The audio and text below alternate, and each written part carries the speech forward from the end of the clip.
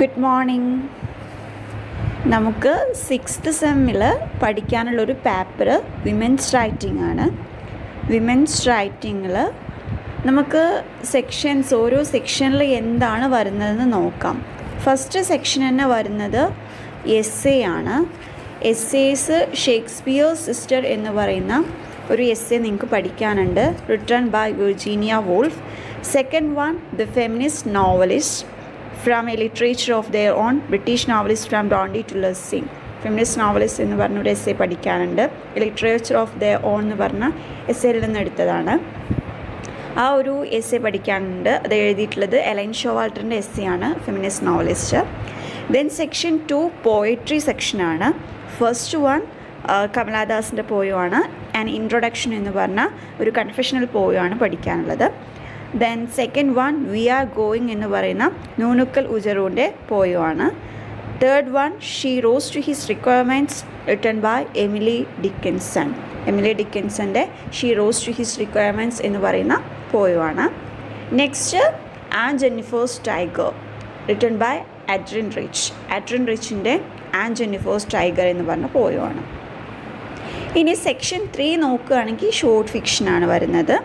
Short ഫിക്ഷനിൽ first fiction എന്ന് പറയുന്നത് girls എന്ന് പറഞ്ഞ ഷോർട്ട് സ്റ്റോറിയാണ് written by Mrinal Pande next one the garden party the garden party എഴുതിയിരിക്കുന്നത് കാതറിൻ മാൻസ്ഫീൽഡ് ആണ്. Then next section section four drama and film review ആണ്.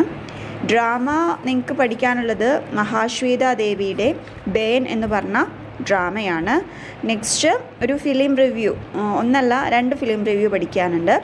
ഒന്ന് Mitra my friend എന്ന് പറഞ്ഞൊരു ഫിലിം റിവ്യൂ അതുപോലെ തന്നെ the day I became a woman എന്ന് പറഞ്ഞ മേഴ്സി മെഷ്കിനിന്റെ ഒരു ഫിലിം റിവ്യൂ മിത്രമായി ഫ്രണ്ട് എന്ന് പറഞ്ഞ സിനിമ രേവതിയുടെ സിനിമയാണ് ആ ഒരു സിനിമയുടെ റിവ്യൂ അതുപോലെ തന്നെ മസി മിഷ്കിനിന്റെ the day I became a woman എന്ന് പറഞ്ഞ ഫിലിം റിവ്യൂ ആണ് പഠിക്കാനുള്ളത്. അപ്പോൾ ഈ രണ്ട് ഫിലിംസും നിങ്ങൾ കാണേണ്ടതാണ്. കണ്ട നമുക്ക് എന്താണ് വളരെ നല്ല രീതിയിൽ തന്നെ റിവ്യൂ ചെയ്യാൻ കഴിയും. നെക്സ്റ്റ് ലാസ്റ്റ് സെക്ഷൻ നോവലാണ് നോവൽ ഈ ഒരു ബുക്കിലുണ്ടാവില്ല നിങ്ങൾക്ക് സ്റ്റോറിൽ നിന്ന് കിട്ടുന്ന ഒരു ബുക്കുണ്ട് women's writing gender in blossom എന്ന് പറഞ്ഞ ബുക്ക് അതിൽ നമുക്ക് നോവൽ കാണാൻ കഴിയില്ല. പക്ഷേ നോവലും നമുക്ക് പഠിക്കാനുള്ളത് തന്നെയാണ്. ആ നോവൽ പഠിക്കാനുള്ളത് വൈറ്റ് സർഗാസോ സി എന്ന് പറഞ്ഞ ജീൻ റൈസിന്റെ നോവലാണ് പഠിക്കാനുള്ളത്. സെക്ഷൻ ഫൈവിൽ അത് നമുക്ക് സെപ്പറേറ്റ് ആയിട്ട് വൈറ്റ് സർഗാസോ സീന്റെ നോവൽ വാങ്ങാൻ കിട്ടും. അപ്പം അത് വാങ്ങാനും അത് വായിക്കാനും തുടങ്ങാം. ഇനി നമുക്ക് ഈ ഒരു ബുക്കിന്റെ പേര് നോക്കൂ. ജെൻഡർ ഇൻ ബ്ലോസം എന്നാണ് ബുക്കിന്റെ പേര് തന്നെ. ജെൻഡർ ഇൻ ബ്ലോസം എന്ന് പറയുമ്പോൾ നമുക്കറിയാം ജെൻഡർ എന്ന് പറഞ്ഞാൽ എന്താണ് എന്നൊക്കെ നമ്മൾ ചെറിയ കഴിഞ്ഞ ക്ലാസ്സുകളിലൊക്കെ ആയിട്ട് പഠിച്ചിട്ടുണ്ടായിരിക്കും. അപ്പോൾ സെക്സും ജെൻഡറും തമ്മിലുള്ള വ്യത്യാസം എന്താണ്? ജെൻഡർ എന്ന് പറഞ്ഞാൽ സോഷ്യലി കൺസ്ട്രക്റ്റഡ് ആണ്. സോഷ്യലി കൺസ്ട്രക്റ്റഡ് ആയിട്ടുള്ള കൺസെപ്റ്റാണ് സെക്സ് ആണെങ്കിൽ ബയോളജിക്കലി കൺസ്ട്രക്റ്റഡ് ആണ്. അല്ലേ? സെക്സ് എന്ന് പറയുമ്പോൾ മെയിൽ ഫീമെയിൽ എന്നുള്ള ഒരു ഇതേ ഉള്ളൂ. ജെൻഡർ എന്ന് പറയുമ്പോൾ സോഷ്യലി കൺസ്ട്രക്റ്റഡ് ആയിട്ടുള്ള ഒരു കൺസെപ്റ്റാണ് അപ്പോൾ നമുക്ക് ഈ ജെൻഡർ ഇൻ ബ്ലോസം അല്ലെങ്കിൽ വിമൻസ് റൈറ്റിംഗ് എന്നാണ് ശരിക്കും നമ്മുടെ ഈ ഒരു ബുക്കിന്റെ പേരാണ് ജെൻഡർ ഇൻ ബ്ലോസം എന്ന് കൊടുത്തിട്ടുള്ളത്. പക്ഷേ ശരിക്കും നമ്മുടെ പേപ്പറിന്റെ പേരെന്താണ്? വിമൻസ് റൈറ്റിംഗ് എന്നാണ്. അപ്പോൾ നിങ്ങൾ നോക്കിയാൽ കാണാം എല്ലാ ഒരു വർക്ക്സും നമുക്ക് പഠിക്കാനുള്ള വർക്ക്സും ഒക്കെ തന്നെ എന്താണ്? നമ്മുടെ ഓരോ സ്ത്രീകൾ എഴുതിയതാണ് അല്ലേ? വിർജീനിയ വോൾഫ് അതുപോലെ തന്നെ എലൈൻ ഷോവാൾട്ടർ പിന്നെ ആൻഡ്രിൻ റിച്ച് ആൻഡ്രിൻ റിച്ച് അതുപോലെ നൂനുക്കൽ ജെറോ മൃണാൾ പാണ്ഡെ അങ്ങനെ ഒരുപാട് വിമൻ റൈറ്റേഴ്സ് അവരുടെ വർക്ക്സാണ് നമുക്ക് പഠിക്കാനുള്ളത്. അപ്പോൾ നമുക്ക് ഇതിൽ കൂടുതലായിട്ടും വിമൻസ് അവരുടെ റൈറ്റിംഗ് അവർ ഏതൊക്കെ രീതിയിൽ അവരുടെ ഐഡന്റിറ്റി പ്രസന്റ് ചെയ്തു. അപ്പം ഫെമിനിസ്റ്റ് റൈറ്റേഴ്സൊക്കെ ആയിട്ട് ഇതിൽ വരുന്നുണ്ട്. ഒരുപാട് ഫെമിനിസ്റ്റ് റൈറ്റേഴ്സിന്റെ റൈറ്റിങ്സ് എല്ലാം നിങ്ങൾക്ക് പഠിക്കാനുണ്ട്. അപ്പോൾ ഫസ്റ്റ് സെക്ഷൻ നോക്കുകയാണെങ്കിൽ എസ് എന്റെ സെക്ഷൻ നോക്കുകയാണെങ്കിൽ ഷേക്സ്പിയർ സിസ്റ്റർ വിർജിനിയ ഉൾഫിന്റെ ഷേക്സ്പിയർ സിസ്റ്റർ എന്ന് പറഞ്ഞ എസ് എ വായിക്കുകയാണെങ്കിൽ നമുക്ക് ഫസ്റ്റ് രണ്ട് എസ് എ ഈ ഒരു ബുക്കിൽ നോക്കുകയാണെങ്കിൽ എസ് എ എന്നുള്ള രീതിയിൽ നിങ്ങൾക്ക് കുറച്ച് ബുദ്ധിമുട്ട് തോന്നാം. പിന്നെയുള്ള സെക്ഷൻസൊക്കെ പോയട്രിയുടെ സെക്ഷൻ ആണെങ്കിലും അതുപോലെ തന്നെ ഷോർട്ട് ഫിക്ഷന്റെ സെക്ഷൻ ആണെങ്കിലും ഫിലിം റിവ്യൂ ആണെങ്കിലും ഒക്കെ വളരെ സിമ്പിളായിട്ടുള്ള ഭാഗങ്ങളാണ്. ഫസ്റ്റ് രണ്ട് എസ് സി ആണ് കുറച്ച് ബുദ്ധിമുട്ടായിട്ട് തോന്നുക. അതും വിർജിനിയ വോൾഫിന്റെ ഷേക്സ്പിയർ സിസ്റ്റർ അത്ര ബുദ്ധിമുട്ടായിട്ടൊന്നും തോന്നില്ല. ഫെമിനിസ്റ്റ് നോവലിസ്റ്റ് കുറച്ച് എന്താണ് ഒരു ലോങ് എസ് സി ആണ്. അപ്പോൾ അതിന്റേതായ ഒരു ബുദ്ധിമുട്ട് കാണും.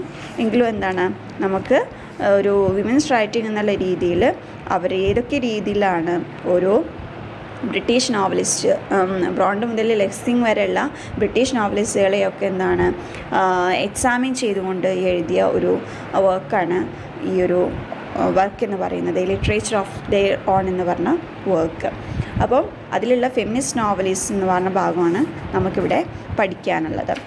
പിന്നെ പോയട്രിയുടെ സെക്ഷൻ നോക്കുകയാണെങ്കിൽ കമലാദാസിനെ കുറിച്ച് നമുക്കറിയാം. ഒരുപാട് പോയിന്റ്സ് നമ്മൾ ചെറിയ ക്ലാസ് മുതലേ പഠിക്കുന്നതാണ്. അതിന്റെ ഇൻട്രൊഡക്ഷൻ ആൻഡ് ഇൻട്രൊഡക്ഷൻ എന്ന് പറഞ്ഞ ഒരു കൺഫ്യൂഷണൽ പോയുമാണ് നമുക്ക് പഠിക്കാനുള്ളത്. നെക്സ്റ്റ് വി ആർ ഗോയിങ് എന്ന് പറയുന്ന നൂനുക്കൽ ഉജരോയുടെ പോയാണ് പഠിക്കാനുള്ളത്. നൂനുക്കൽ ഉജറോ എന്ന് പറഞ്ഞാലും വുമൻ റൈറ്റർ തന്നെയാണ്. അപ്പോൾ അവരുടെ ഒരു പോയം അതിലും നമുക്ക് കാണാൻ കഴിയുന്നത് ഐഡന്റിറ്റി സെർച്ചിങ് ഒക്കെ തന്നെയാണ് നമുക്ക് ഈ ഒരു പോയത്തിലും വി ആർ ഗോയിങ് എന്ന് പറഞ്ഞ പോയത്തിലും കാണാൻ കഴിയുന്നത്. അപ്പോൾ ഇവിടെ എല്ലാം തന്നെ സെർച്ചിങ് ഓഫ് വുമൺ ഐഡന്റിറ്റി എന്ന് പറഞ്ഞ കൺസെപ്റ്റ് അപ്പോൾ സ്ത്രീകളെ നമുക്ക് എത്രത്തോളം നമ്മൾ ലോകം മുന്നോട്ട് പോവുകയാണെങ്കിലും എന്താണ് സ്ത്രീ ഏതൊക്കെ രീതിയിൽ സ്റ്റീരിയോടെപ്പിക്കലായിട്ടുള്ള കുറച്ച് ഇമേജസ് സ്ത്രീക്ക് നൽകിയിട്ടുണ്ട്. ആ രീതിയിലാണ് സ്ത്രീ എന്താണ് എപ്പോഴും സ്ത്രീയെ അങ്ങനെയാണ് കാണുന്നത്. വുമന്റെ ആ ഒരു പൊസിഷനിലെത്താൻ അല്ലെങ്കിൽ ഒരു മെയിൽ ഈഗോ ഉള്ള ഈ ഒരു സൊസൈറ്റിയിൽ എന്താണ് സ്ത്രീക്ക് അവരുടേതായ ഒരു സ്പേസ് ഉണ്ടാക്കാൻ കഴിയുന്നില്ല ഇല്ല എന്നുള്ള ഒരു രീതിയിലാണ് ഈ വർക്ക്സൊക്കെ എന്നാണ് ഇവിടെ പ്രസന്റ് ചെയ്തിട്ടുള്ളത്. പിന്നെ ഫിക്ഷൻ ആണെങ്കിൽ നമുക്ക് പഠിക്കാനുള്ള ഫിക്ഷൻ ആണെന്നുണ്ടെങ്കിലും ഗേൾസിനൊക്കെ എന്താണ് സൊസൈറ്റിയിൽ ഏതൊക്കെ രീതിയിൽ എക്സ്ക്ലൂഡ് ചെയ്യുന്ന അല്ലെങ്കിൽ ഏതൊക്കെ രീതിയിൽ എന്താണ് ഗേൾസിന് അത്ര പ്രാധാന്യമില്ലാത്ത ഒരു സൊസൈറ്റി അവിടെ മെയിൽ ചൈൽഡിനാണ് ഏറ്റവും കൂടുതൽ പ്രാധാന്യമുള്ള ഒരു മെസ്സേജാണ് എന്താണ് ഗേൾസ് എന്ന് പറഞ്ഞ സ്റ്റോറിയിൽ നൽകുന്നത്. അതുപോലെ തന്നെ ഗേൾസിനെ ഏതൊക്കെ രീതിയിലാണ് സൊസൈറ്റിയിൽ ട്രീറ്റ് ചെയ്യുന്നത്? ആ ഒരു കാര്യങ്ങളൊക്കെയാണ് ഗേൾസ് എന്ന് പറഞ്ഞ സ്റ്റോറിയിൽ പറയുന്നത്. അങ്ങനെ എല്ലാ സ്റ്റോറി ആണെങ്കിലും പോയോ ആണെന്നുണ്ടെങ്കിലും നമുക്ക് പഠിക്കാനുള്ള ഫിലിംസ് ആണെങ്കിലും ഒക്കെ തന്നെ എന്താണ് ഏതൊക്കെ രീതിയിൽ എന്താണ് woman is constructed as inferior എന്നുള്ള ഒരു മെസ്സേജാണ് വിമൻ ഒരു ഇൻഫീരിയർ ആയിട്ട് ഏതൊക്കെ രീതിയിലാണ് കൺസ്ട്രക്ട് ചെയ്ത് വെച്ചിട്ടുള്ളത് എന്നുള്ള ഒരു മെസ്സേജാണ് നമുക്ക് ഓരോ വർക്കും തരുന്നത്. ഇനി നമുക്ക് ഫസ്റ്റ് പഠിക്കാൻ ഉള്ളത്. ശരിക്കും എസ് ആണ്. സെക്ഷൻ വൺ എസ് ആണ്. പക്ഷേ നമ്മളൊരു വർക്ക് അല്ലെങ്കിൽ ഒരു ഈ സെമ്മിൽ ഫസ്റ്റായിട്ട് നമ്മൾ ഈ ബുക്ക് പഠിക്കുമ്പോൾ തന്നെ ഫസ്റ്റ് തന്നെ ബുദ്ധിമുട്ടുള്ള ഒരു എസ് എയിൽ നിന്ന് തുടങ്ങി നിങ്ങൾക്ക് എന്താണ് ബോറടിക്കേണ്ട അപ്പോൾ നമ്മൾ ഡീറ്റെയിൽഡ് ആയിട്ട് എസ് എസിലേക്ക് പിന്നെ കടക്കാം. അപ്പോൾ ഫസ്റ്റ് നമ്മൾ എന്ത് ചെയ്യാം? ഏറ്റവും സിമ്പിളായിട്ടുള്ള ആൻ ഇൻട്രൊഡക്ഷൻ എന്ന് പറഞ്ഞ പോയിട്രി സെക്ഷനിൽ നിന്ന് തുടങ്ങാം. അതിലുള്ള ആൻ ഇൻട്രൊഡക്ഷൻ എന്ന് പറഞ്ഞാൽ ഫസ്റ്റ് പോയം നോക്കാം. അതാണ് നല്ലത്. കാരണം മറ്റത് കുറച്ച് ഡീറ്റെയിൽഡ് ആയിട്ട് ഒരുപാട് ക്ലാസ് വെച്ച് പഠിക്കേണ്ടതാണ്. അപ്പം ഓൺലൈൻ ക്ലാസ് ആകുമ്പോൾ ഒരുപാട് എന്താണ് ബുദ്ധിമുട്ടുകളുണ്ട്. ഒരു എസ് എടുക്കുമ്പം ശരിക്കും പറഞ്ഞാൽ ക്ലിയർ ആയിട്ടുള്ള കമ്മ്യൂണിക്കേഷനും കാര്യങ്ങളും നമുക്ക് പ്രോപ്പറായിട്ട് അങ്ങോട്ടും ഇങ്ങോട്ടും ഒരു കമ്മ്യൂണിക്കേഷൻ ഒരു ഇന്റർപേഴ്സണൽ കമ്മ്യൂണിക്കേഷൻ നടക്കുന്നില്ല. അപ്പോൾ ശരിക്കും പറഞ്ഞാൽ ഇങ്ങനെയുള്ള എസ് എസിനൊക്കെ അങ്ങനെ ഒരു കമ്മ്യൂണിക്കേഷൻ വേണ്ടതുണ്ട്. ലോങ് എസ്സേസ് ആണ്. അപ്പോൾ ഓൺലൈൻ ആകുമ്പോൾ അതിന്റേതായ ബുദ്ധിമുട്ടുകളുണ്ട്. അപ്പോൾ നമുക്ക് നോക്കാം എന്താണ് ശരിക്കും റെഗുലർ ക്ലാസ്സൊക്കെ വരികയാണെന്നുണ്ടെങ്കിൽ നമുക്ക് ഒന്നും കൂടി നല്ല രീതിയിൽ എസ്സേസ് എടുക്കാൻ കഴിയും. അപ്പോൾ ഫസ്റ്റ് നമുക്ക് എന്താണ് ഈ ഒരു സെക്ഷൻസ് മറ്റ് സെക്ഷൻസൊക്കെ എടുത്തു പോവാം. ലാസ്റ്റ് എന്ത് ചെയ്യാം? എസ്സേയുടെ സെക്ഷൻ എടുക്കാം. അപ്പോഴേക്കും റെഗുലർ ക്ലാസ് സ്റ്റാർട്ട് ചെയ്യുകയാണെങ്കിൽ അതെന്താണ് നല്ലതായിരിക്കുമല്ലോ. അപ്പോൾ ഫസ്റ്റ് എന്താണ് നമുക്ക് കമലാദാസിന്റെ ആൻ ഇൻട്രൊഡക്ഷൻ എന്ന് പറഞ്ഞ പോയത്തിലേക്ക് പോകാം. അതിന് മുമ്പ് എന്താണ്? First of all we want to go through the profile of Kamala Das അല്ലേ? കമലാദാസിനെ കുറിച്ച് നമ്മൾ ചെറിയ ക്ലാസ് മുതലേ പഠിക്കുന്നതാണ്. കമലാദാസിനെ കുറിച്ച് പറയുകയാണെങ്കിൽ she can be consider as mother of modern Indian English poetry modern Indian English പോയട്രിയുടെ മദറായിട്ട് നമുക്ക് ആരെ കൺസിഡർ ചെയ്യാൻ കഴിയും? കമലാദാസിനെ കൺസിഡർ ചെയ്യാൻ കഴിയും. And she wrote under the pen name Madhavikutty in Malayalam മലയാളത്തിലൊക്കെ ഒരുപാട് എഴുതിയിട്ടുള്ള റൈറ്ററാണ് അല്ലേ? മാധവിക്കുട്ടി എന്ന് പറഞ്ഞ പെന്നെയിലാണ് മലയാളത്തിൽ എഴുതിയിരുന്നത്. And she later change her name as Kamala Surayya പിന്നീട് എന്താണ് മതം മാറി കമല സുരയ്യ എന്ന് പേര് മാറ്റിയതും ഒക്കെ നമുക്ക് എന്താ അറിയുന്ന കാര്യങ്ങൾ തന്നെയാണ്. And she was born in Punnayurkulam Thrissur district Thrissur ഡിസ്ട്രിക്റ്റിലെ പുന്നയൂർ കുളത്താണ് ജനിച്ചത്. ആൻഡ് born on March thirty first nineteen thirty four to V M Nair and Nalappat Balamani Amma എറിനോട്ട് Malayali Poitiers അപ്പം ജനിക്കുന്നത് വി എം നായറിന്റെയും അതുപോലെ തന്നെ നാലപ്പാട്ട് ബാലാമണി അമ്മ എന്ന് വെച്ചാൽ മലയാളത്തിലെ ഒരുപാട് പ്രശസ്തമായ ഒരുപാട് കവിതകൾ എഴുതിയ കവിത്രിയാണ് കവയിത്രിയാണ് ബാലമണിയമ്മ അല്ലേ. അവരുടെയും വി എം നായരുടെയും മകളായിട്ട് ആയിരത്തി തൊള്ളായിരത്തി മുപ്പത്തിനാല് മാർച്ച് തേർട്ടി ഫസ്റ്റിനാണ് കമലാദാസ് ജനിക്കുന്നത് then At the age of 15, she got married to a bank officer, Madhav Das പതിനഞ്ചാമത്തെ വയസ്സിൽ തന്നെ അല്ലെങ്കിൽ പതിനഞ്ച് വയസ്സ് കഴിഞ്ഞ ഉടനെ തന്നെ ഏകദേശം പതിനാറ് വയസ്സിൽ എന്താണ് മാധവ് ദാസ് എന്ന് പറഞ്ഞാൽ ബാങ്ക് ഓഫീസറുമായിട്ട് എന്താണ് അവരുടെ വിവാഹം കഴിയാണ് കമലാദാസിന്റെ. Next on thirty first May two thousand nine age age eighty five എന്നാണ് ഞാനിവിടെ കൊടുത്തിട്ടുള്ളത്. ഏജ് സെവന്റി ഫൈവ് ആണ്. Age seventy five she died at a hospital in Pune അപ്പോൾ പൂനെയിൽ എന്താണ്? ടു തൗസൻഡ് നയനിൽ തേർട്ടി ഫസ്റ്റ് മെയ്യിൽ എഴുപത്തഞ്ചാം വയസ്സിലാണ് ജനി സോറി മരണപ്പെടുന്നത്. And she receive many awards and honours ഒരുപാട് അവാർഡ്സും ഒരുപാട് അംഗീകാരങ്ങളൊക്കെ കിട്ടിയിട്ടുണ്ട്. Philippines Asian poetry prize nineteen sixty ത്രീയിൽ അതുപോലെ തന്നെ Kerala Sahitya Akademi award for her writing in Malayalam in nineteen sixty nine Chimanlal award for fearless journalism in nineteen seventy one the Asan world prize in nineteen eighty five and Sahitya Akademi award for her poetry in in In 1984, she was nominated for the Nobel Prize in Literature. അപ്പോൾ ലിറ്ററേച്ചറിന് Nobel പ്രൈസിന് nominate ചെയ്യപ്പെട്ട ഒരു വ്യക്തി കൂടിയാണ് കമലാദാസ് അത് eighteen sorry nineteen eighty ഫോറിലാണ് nominate ചെയ്യപ്പെടുന്നത് then famous poem and introduction is in confessional mode നമുക്ക് പഠിക്കാനുള്ള ആൻഡ് ഇൻട്രൊഡക്ഷൻ എന്ന് പറയുന്ന ഈ ഒരു പോയം എന്താണ്? കൺഫെഷണൽ മോഡിലാണ് എഴുതിയിട്ടുള്ളത് എന്നാണ് പറയുന്നത്.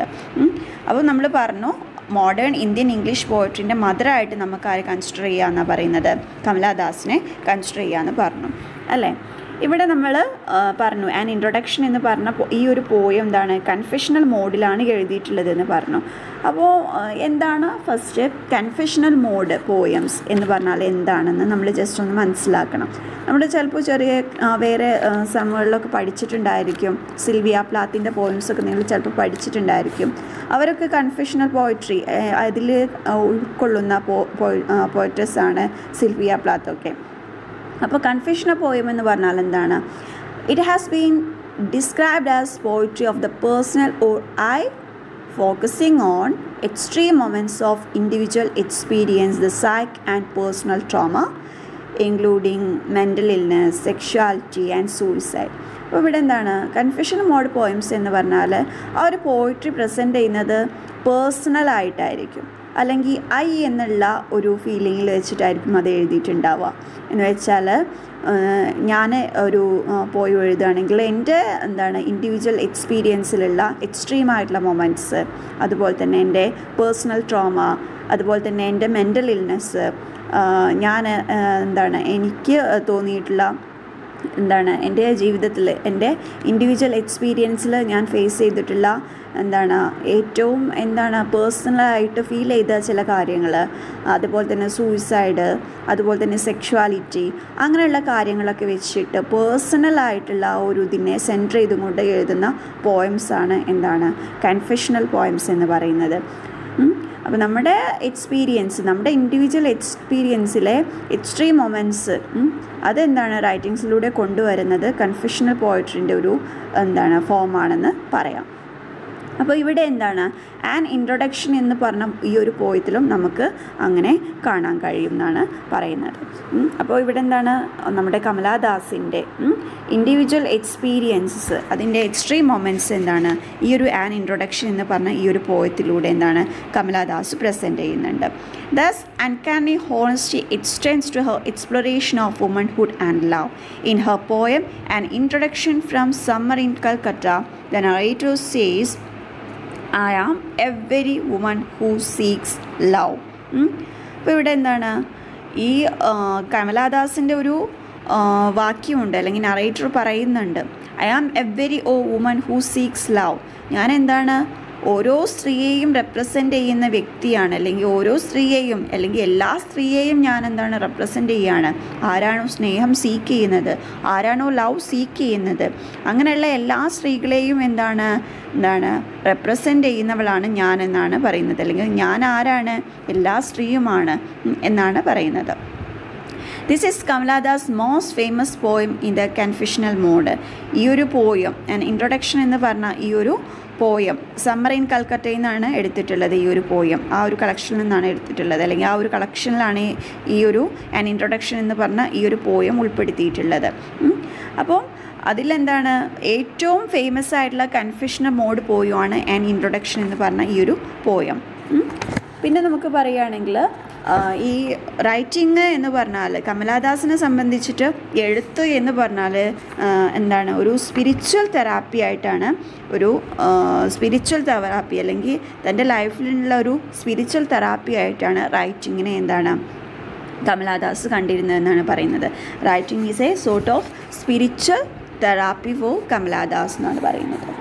പിന്നെ അവർ പറഞ്ഞിട്ടുണ്ട് if I had been a love person I wouldn't have become a writer I would have been a happy human being അപ്പം ഈ ഒരു സ്റ്റേറ്റ്മെന്റിൽ നിന്ന് if I had been a loved person ഞാൻ എന്താണ് സ്നേഹിക്കപ്പെട്ട ഒരു വ്യക്തിയായിരുന്നുവെങ്കിൽ അല്ലെങ്കിൽ എന്നെ സ്നേഹിക്കാൻ ആരെങ്കിലും ഉണ്ടായിരുന്നുവെങ്കിൽ എന്താണ് I wouldn't have become a writer ഞാനൊരു എഴുത്തുകാരിയാവുമായിരുന്നില്ല. I would have been a happy human being ഞാൻ നല്ല സന്തോഷവതിയായ ഒരു മനുഷ്യൻ മാത്രമാവുകയെ ഉണ്ടായിരുന്നുള്ളൂ. അല്ലാതെ ഞാൻ ഒരിക്കലും എന്താണ് എഴുത്തുകാരിയാവുമായിരുന്നില്ല എന്നാണ് പറയുന്നത്. അപ്പോൾ ഇവിടെ എന്താണ് അവർ അനുഭവിക്കാത്ത ഒരു സ്നേഹം അതുപോലെ ഹാപ്പിനെസ് അപ്പോൾ അതൊക്കെ എന്താണ്? കിട്ടാത്ത ആ ഒരു ഇമോഷണൽ ഫീലിങ്ങിൽ നിന്നും രക്ഷപ്പെടാൻ കണ്ടെത്തിയ ഒരു തെറാപ്പി ആയിരുന്നു കമലാദാസിനെ സംബന്ധിച്ച് റൈറ്റിംഗ് എന്ന് പറയുന്നത്.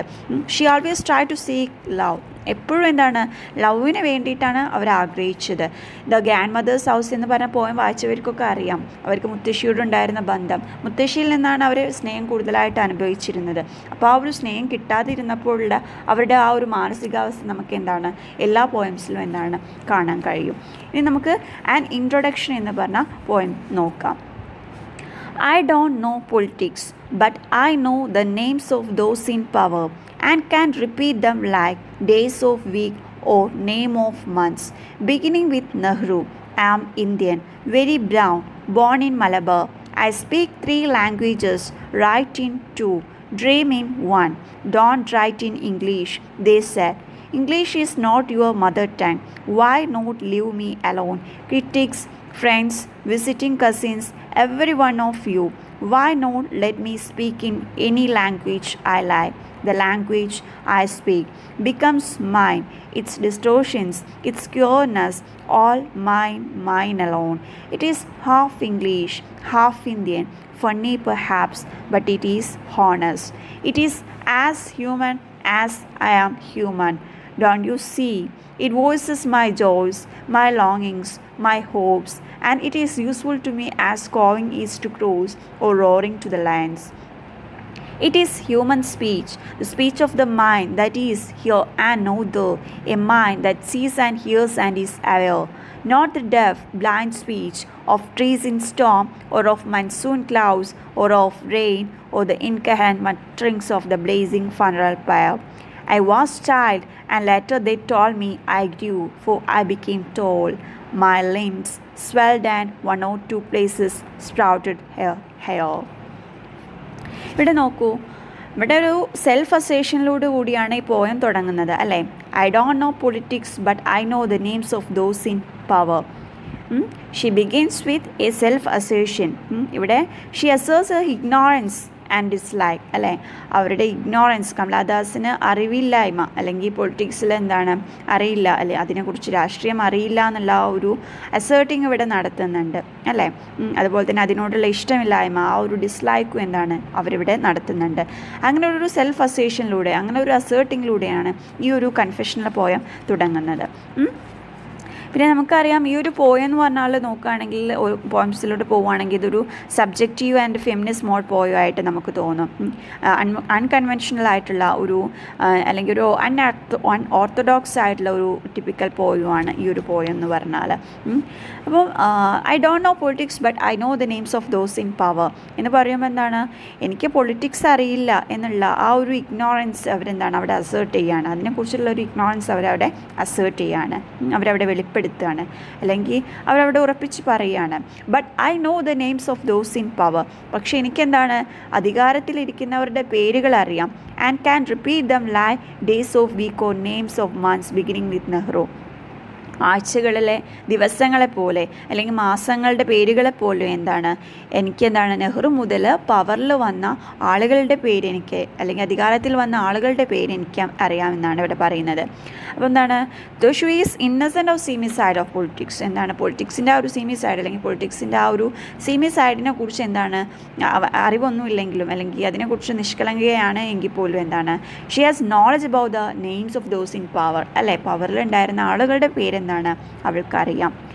I am Indian a very brown born in Malabar I speak three languages write in two dream in one പിന്നെന്താണ് ഇവിടെ അവർ ചെയ്യുന്നത്? അവർ അവരെക്കുറിച്ച് തന്നെ എന്താണ് ഡിഫൈൻ ചെയ്യാണ്. അവരവരെക്കുറിച്ച് അവരവരെ കുറിച്ച് എന്താണ് ഡിഫൈൻ ചെയ്യുന്നത്? She's Indian I am Indian very brown born in Malabar എന്താണ് അസേർട്ട് ചെയ്യാണ്. അല്ലേ? She first defines herself in terms of nationality nationality വെച്ചിട്ടാണ് എന്താണ് ഫസ്റ്റ് ഡിഫൈൻ ചെയ്യുന്നത്. എന്താണ്? I am Indian and second by her colour colour വെച്ചിട്ട് എന്താണ്? I am very brown and born in Malabar and I speak three languages മൂന്ന് languages എനിക്ക് സംസാരിക്കാൻ അറിയാം. ആൻഡ് റൈറ്റ് ഇൻ ടു രണ്ട് ലാംഗ്വേജസിൽ ഞാൻ എഴുതുന്നു. ആൻഡ് ഡ്രീം ഇൻ വൺ പക്ഷേ എന്താണ്? എന്റെ സ്വപ്നങ്ങൾക്ക് ഒരേ ഒരു ഭാഷയുള്ളൂ എന്നാണ് പറയുന്നത്. അപ്പോൾ ഇവിടെയൊക്കെ എന്താണ്? ഫസ്റ്റ് അവരൊരു സെൽഫ് അസോസിയേഷൻ നടത്തുകയാണ്. പിന്നെ അവർ അവരെ കുറിച്ച് തന്നെ എന്താണ് defining herself in terms of nationality and second by colour third by region അങ്ങനെ സെൽഫായിട്ട് ഡിഫൈൻ ചെയ്യാണ് then don't write in English they said English is not your mother tongue അപ്പോൾ എന്താണ്? എന്നോട് പലരും പറഞ്ഞു എന്താണ്? ഇംഗ്ലീഷിൽ എഴുതരുതെന്ന്. അവർ പറഞ്ഞു. English is not your mother tongue English നിന്റെ മദർ ടങ് അല്ലെന്ന് എന്നോട് പലരും പറഞ്ഞു. Why not leave me alone critics friends visiting cousin every one of you എന്തുകൊണ്ട് എന്നെ എന്താണ് തനിച്ച് വിട്ടില്ല എന്നാണ് പറയുന്നത്. ക്രിറ്റിക്സ് ഫ്രണ്ട്സ് വിമർശകരാണെങ്കിലും സുഹൃത്തുക്കളാണെങ്കിലും വിസിറ്റിംഗ് കസിൻസ് ആണെങ്കിലും എല്ലാവരും എന്താണ് why not let me speaking any language I like എല്ലാവരും എന്താണ്? ഇംഗ്ലീഷിൽ എഴുതേണ്ട എന്ന് പറഞ്ഞു. ഇംഗ്ലീഷ് നിന്റെ മദർ ടങ് അല്ലെന്ന് പറഞ്ഞു. പക്ഷേ എന്തുകൊണ്ട് എന്നെ തനിച്ചു വിട്ടില്ല? എനിക്കിഷ്ടപ്പെട്ട ഭാഷയാണോ? ഭാഷ ഏതാണോ അതിൽ ഞാൻ എന്താണ് സംസാരിക്കട്ടെ? Why not let me speak in any language I like എന്തുകൊണ്ട് എന്നെ സംസാരിക്കാൻ അനുവദിക്കുന്നില്ല? എനിക്കിഷ്ട ഭാഷ പെട്ട ഭാഷയിൽ എന്നെ സംസാരിക്കാൻ അനുവദിക്കുന്നില്ല എന്ന് കമലാദാസ് ചോദിക്കുകയാണ്. The language I speak becomes my എന്താണ്? ഞാൻ സംസാരിക്കുന്ന ഭാഷ അതെന്തോ ആയിക്കോട്ടെ അതെന്താണ് എന്റേതാണ് ഇറ്റ്സ് ഡിസ്ട്രോഷൻസ് ഇറ്റ്സ് ക്യൂർനെസ് എന്താണ്? അതിന്റെ ഓരോ ഭാഷയ്ക്കും അതിന്റേതായ ഡിസ്ട്രോഷൻസും ക്യൂർനെസ്സും ഉണ്ടാവും. അതിന്റേതായ വൈവിധ്യങ്ങളും വൈചിത്രങ്ങളും ഉണ്ടായിരിക്കും അല്ലേ. അപ്പം അതുകൊണ്ട് ഓരോ ഭാഷ കൊണ്ട് നമുക്ക് പല രീതിയിലും എന്താണ്? സ്പീക്കിംഗ് ആണെങ്കിലും റൈറ്റിംഗ് ആണെങ്കിലും പല രീതിയിൽ ഡിസ്ട്രോട്ട് ചെയ്യാൻ കഴിയും. പല ക്യൂർനെസ്സും ഉണ്ടാക്കാൻ കഴിയും. അപ്പോൾ എന്റെ ഞാൻ സംസാരിക്കുന്ന ഭാഷ ആ ഭാഷയുടെ ഡിസ്ട്രോഷൻസും ക്യൂർനെസ്സും എന്താണ്? എന്റേത് മാത്രമാണ്. ആൾ മൈൻ മൈൻ അലോൺ എല്ലാം എന്റേത് എന്റേത് മാത്രമാണ്. It is half English half Indian funny perhaps but it is honest അപ്പോൾ എന്റെ മദർ ടങ് അല്ല ഇംഗ്ലീഷ് പക്ഷേ എന്താണ്? അതൊക്കെ ഞാൻ എന്തിലാണോ എഴുതുന്നത് അല്ലെങ്കിൽ എന്തിലാണോ സംസാരിക്കുന്നത് അതിന്റെ എല്ലാ ഡിസ്ട്രോഷൻസും അതിന്റെ എല്ലാ ക്യൂർനെസ്സും എന്താണ്? എന്റേത് മാത്രമാണെന്നാണ് കമലാദാസ് പറയുന്നത്. ഉം. ആ, ഞാൻ ഇംഗ്ലീഷിൽ അല്ല മദർ ടങ്ക് എന്നുള്ളത് കൊണ്ട് തന്നെ ഞാൻ ഇംഗ്ലീഷിൽ എഴുതുമ്പോൾ എന്താണ് അത് ചിലപ്പം എന്താണ് perfect ആയിക്കൊള്ളണമെന്നില്ല it may be half English half English ആകാം. ചിലപ്പോൾ ഹാഫ് ഇന്ത്യൻ ആകാം. ഫൺ എന്നുവെച്ചാൽ ഇംഗ്ലീഷിൽ എഴുതുമ്പോൾ ചിലപ്പോൾ ഹാഫ് ഇംഗ്ലീഷായി മാറും ഹാഫ് ഇന്ത്യനായി മാറും. പക്ഷേ അത് ചിലപ്പോൾ അതേപോലെ തന്നെ എന്താണ് ഫണ്ണി ആവാം. വായിക്കുമ്പോൾ ഫണ്ണി ആയി തോന്നാം. പക്ഷേ എന്താണ് ബട്ട് ഇറ്റ് ഈസ് ഹോണസ്റ്റ് പക്ഷേ അതെന്താണ് സത്യസന്ധമാണ്. ഞാൻ എഴുതുന്നത് സത്യസന്ധമാണെന്നാണ് ആര് പറയുന്നത്? കമലാദാസ് പറയുന്നത്. It is as human as I am human don't you see ഞാനൊരു മനുഷ്യനാണ്. അതുപോലെ തന്നെ എന്താണ്? ആ- ഒരു മനുഷ്യത്വം അല്ലെങ്കിൽ ആ ഒരു മനുഷ്യന്റെ ആ ഒരു എല്ലാ ഇതും എന്താണ്? ആ ഒരു ലൈൻസിൽ പോയത്തിലും നമുക്ക് എന്താണ് കാണാൻ കഴിയും. ഞാൻ എഴുതുന്നതിൽ കാണാൻ കഴിയുമെന്നാണ് പറയുന്നത്. ഒരു ഹ്യൂമൻ എന്ന നിലയിൽ ഞാൻ അനുഭവിക്കുന്ന ഫീലിങ്സും ഇമോഷൻസും ഒക്കെയാണ് ഞാൻ എന്റെ വാക്കുകളിലൂടെ എന്റെ ഭാഷകളിലൂടെ പ്രസന്റ് ചെയ്യുന്നത്. അതുകൊണ്ട് തന്നെ എന്താണ്? അതെന്താണ്? It is as human as I am human ഞാൻ ആസ് ഞാൻ ഒരു ഹ്യൂമൻ എന്ന നിലയിൽ പോലെ തന്നെ എന്താണ്? അത് എന്താണ്? ആ വാക്കുകളിലും എന്താണ്? ആ ഒരു ഹ്യൂമാനിറ്റി ഉണ്ട് എന്നാണ് പറയുന്നത് ആ ഒരു ഹ്യൂമൻ ക്വാളിറ്റീസ് ഉണ്ട് എന്നാണ് പറയുന്നത്. Don't you see? It voices my joys, my longings, my hopes, and it is useful to me as cawing is to crows or roaring to the lions. എന്താണ്? നിങ്ങൾ കേൾക്കുന്നില്ലേ? അല്ലെങ്കിൽ നിങ്ങൾ കാണുന്നില്ലേ എന്നാണ് ചോദിക്കുന്നത്. ഇറ്റ് വോയിസസ് മൈ ജോയ്സ് ആ വാക്കുകളിൽ അല്ലെങ്കിൽ ആ ഭാഷകളിൽ എന്താണ്? ആ ഭാഷയിൽ എന്റെ വാക്കുകളിൽ എന്റെ വരികളിൽ എന്താണ്? എന്റെ സന്തോഷങ്ങളുണ്ട്.